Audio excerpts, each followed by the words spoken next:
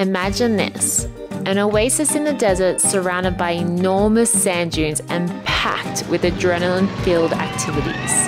From sandboarding to terrifying dune buggy rides and incredible sunsets. This is Huacachina.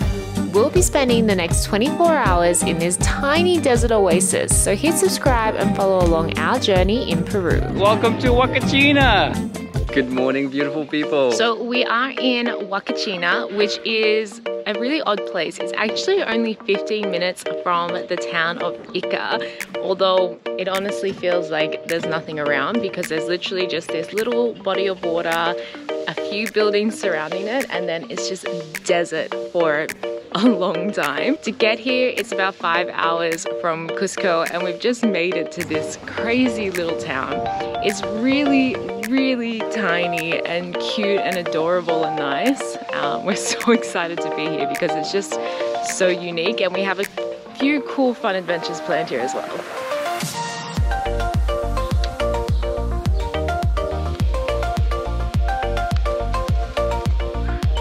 Believe it or not, this thing is not a movie set. We actually said this morning, this actually looks like a movie yeah. set, but it's actually real. Looks like they built it, filmed a movie and kind of just left and then people just came here to live and built hotels amongst it. It's really weird.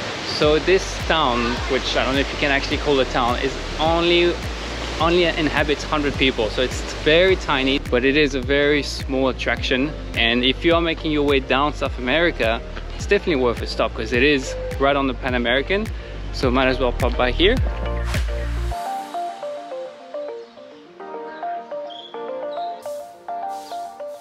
The legend of the oasis is really cute and there's a few different versions but I think this one is the most accurate because we Google translated the plaque over on the town hall over here. So basically legend holds the lagoon was created by a beautiful native princess she removed her clothes to bathe, but after looking in her mirror, she saw a male hunter approaching from behind. Startled at the intrusion, she fled the area, leaving behind her mirror, which turned into the lake. Other versions say that she fled, leaving a pool of water that she was bathing in, and that's what turned into the lake. And that the folds of her mantle streaming behind her as she ran became the surrounding sand dunes. So that's how Huacachina was created and also the princess's name was Huacachina. But other versions say that she was so sad by the loss of her lover that she threw herself into the lake and then turned into a mermaid and there's a few different versions that we found online but I think this one's the most accurate.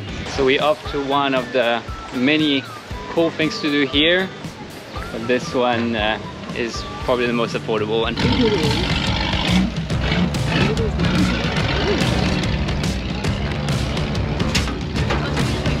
seatbelts are like airplane seatbelts. Like this? Yeah.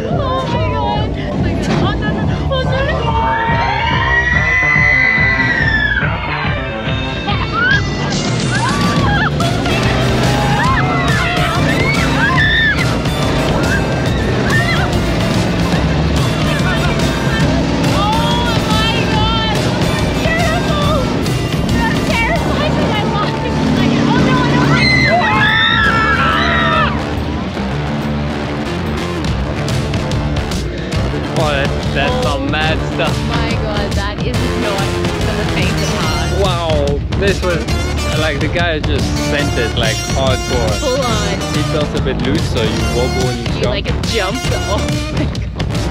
Terrifying. Way to make, you know how you were saying the other day, like makes you feel alive? Like it's like one of those moments where like you're so close to death you feel alive. Woo! Yeah. Amazing. so cool. We're standing on top of the dune buggy right now in the middle of the desert. That's such a dork.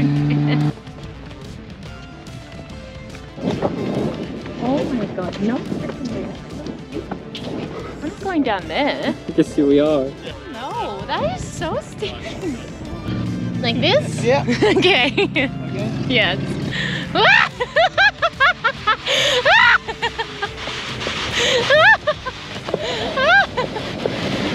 oh my god.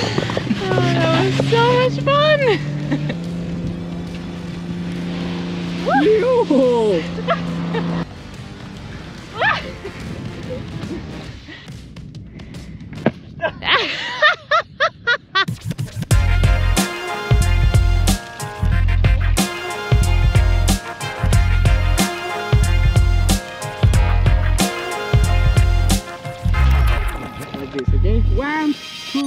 two, and.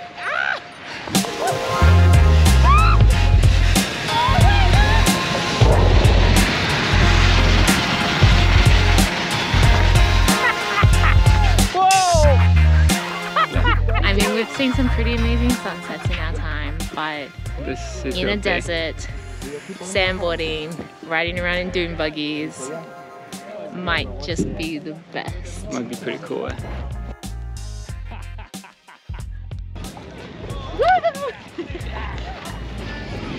Got our beer.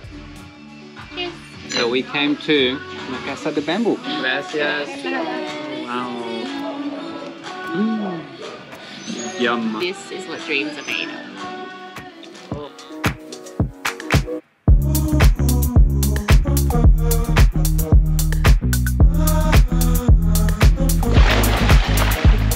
Good morning, beautiful people.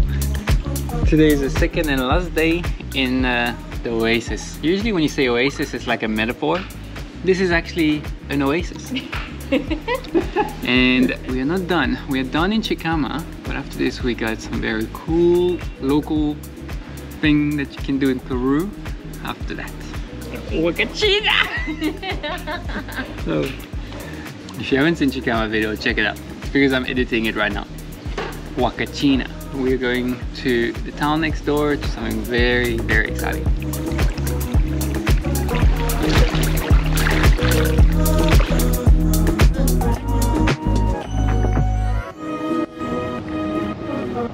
So instead of hanging out in Huacachina today, because it's like a trillion degrees during the day, we've decided to come just 30 minutes away are a ton of different pisco wineries.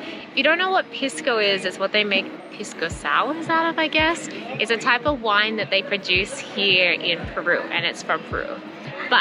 But we're not just going to any of the wineries. We are at La Caravedo, which is the oldest distillery in all of America, which is crazy. So we're gonna do a tour of the distillery, a tasting of the piscos, and we haven't had any pisco since we've been in Peru, so we're very excited.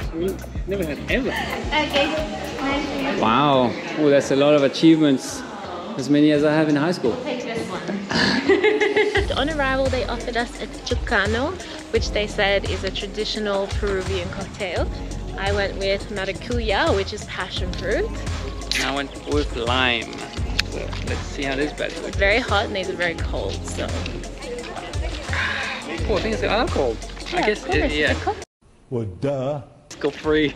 Pisco drink. How is it? It's very good. It's Yeah. refreshing. Yeah. The sugar content of this grape is maximum 250 grams of sugar per liter. Okay, is the queen of the pisco grapes. Next step. So after pressing grapes, all the grape juice flows uh, through this area. Once finished, uh, we call it cachina.